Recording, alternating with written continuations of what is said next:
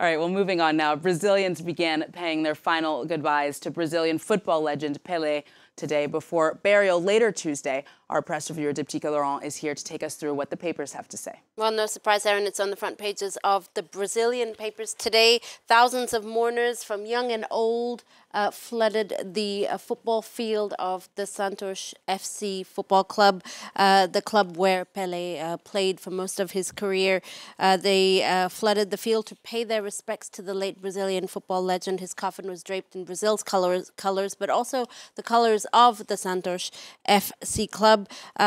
for Pele made football an art, and he made football a cultural pillar of our country. That's what this paper here, Folha de Sao Paulo, says on its uh, front page in a rather adoring front page article here that you see uh, today uh, of that field there. Meanwhile, Mundo Deportivo, which is a uh, Catalan Span uh, Catalan uh, sports paper, is going with a one-word headline there: "Adieu" or "Goodbye." It says to the late Brazilian football legend uh, Pele will be buried uh, this Tuesday in a private ceremony. Now, from a three time World Cup champion to a newly minted uh, first time World Cup champion. This paper here, La Capital, which is an Argentinian paper, reports that Leo Messi has now left his hometown of Rosario. He's on his way to Paris to join the Paris Saint Germain club. Uh, the party is over for the newly minted World Cup champion. He and his family will be arriving sometime in uh, this Tuesday here in the French capital, Erin.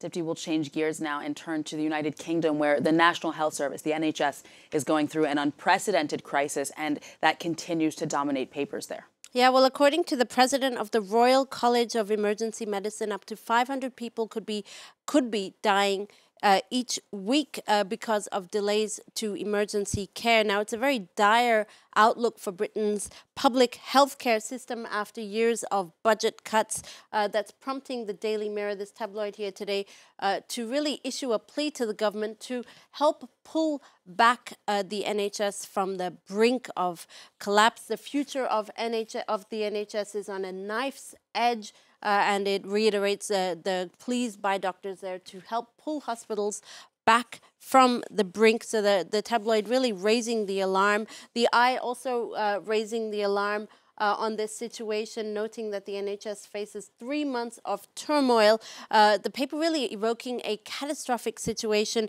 comparing public hospitals to wartime hospitals uh, with scenes of hell, uh, scenes from hell by angry patients, patients faced with oxygen shortages and a two-day wait for beds, with the situation likely to continue until at least April this year. Um, fi uh, finally, you have uh, the Times cartoonist Morten Morland, who sort of takes a sarcastic look at this situation. You have uh, he sees uh, the Prime Minister Rishi Sunak here uh, telling these uh, patients who are lying in the corridors of British hospitals that Thanks to the Health Secretary, you won't be affected by upcoming rail strikes because, indeed, in addition to this health crisis, uh, there is uh, five days of rail strikes that are set to begin in uh, the UK this Tuesday. So, uh, not off to a great start for the moment. Certainly not what you would expect of one of the world's wealthiest countries, Dipty. Let's change gears again and go to Algeria, where the French magazine Courrier International is looking at a recent decision by the Commerce Ministry to ban the sale of items that go reportedly against Islamic traditions. That's right. As uh, Courrier International explains, these kind of items that the ministry has catalogued as going against Islamic traditions include any kind of object that is rainbow colored or alludes to the rainbow flag of the LGBTQ uh, movement. Uh, homosexuality is still illegal in Algeria. It's also punishable by up to three years in prison, Erin. You can read about that in uh, Le Courrier International today.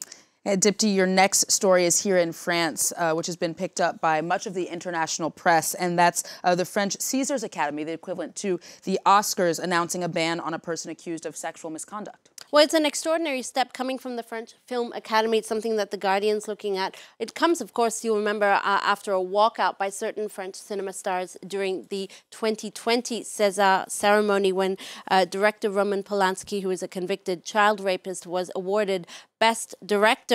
This year's ceremony, which is due to take place uh, uh, in, in, early 2023, has already been overshadowed by accusations of rape and violence leveled against one of its most rising stars right now, French actor Sofiane Bennacer.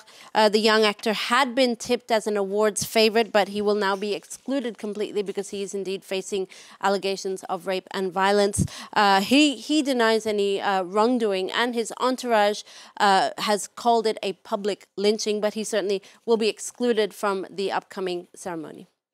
And finally, from you, Dipti, it's a new year, and with that brings predictions for trends in fashion and pop culture. So tell us what is expected to be hot this year. Well, according to The Independent, Erin, uh, 2023 will see an end to goblin mode, which you remember was sort of the antithesis to perfectionism. Uh, instead, it'll be replaced by what The Independent calls the soft life, which is a lifestyle free of stress. Uh, basically, staying in on a Friday night or organizing your cupboards will become cool again. Uh, expect to see what uh, the Independent calls dopamine dressing in fashion. So basically, embracing um, uh, highlighter colors like neon uh, yellow and hot pink. When it comes to fashion in footwear, it'll be out with the Crocs and in with the ballet pumps. Apparently, men will start embracing manicures in 2023. There'll be a return of the side boob as well. And expect athle- athle- athleisure to be replaced by retro 80s Barbie fits. So uh, you might see a return of leotards, leggings, and headbands, all in neon colors, of course. So, so much to look forward to this year, Erin. Indeed, Dipti Laurent with the Press Review. Thank you very much.